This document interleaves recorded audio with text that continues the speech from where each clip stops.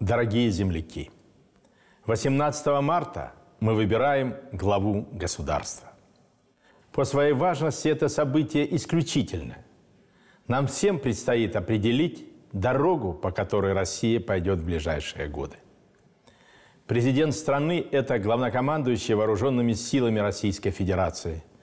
Он в ответе за крепость рубежей и надежность нашей обороны.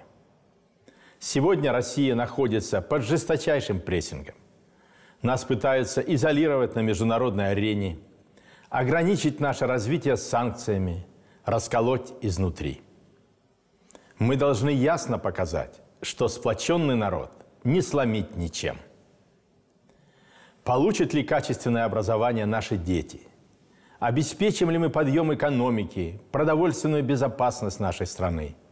Станет ли наш общий дом уютней, а жизнь лучше? Именно на эти вопросы мы отвечаем, когда принимаем решение прийти на избирательные участки.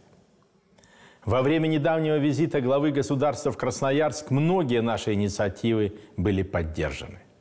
Это создание макрорегиона Енисейская Сибирь, который объединит экономический потенциал нашего края, Хакасии, Тывы. Программа экологического оздоровления, строительство метро, газификация и многое другое.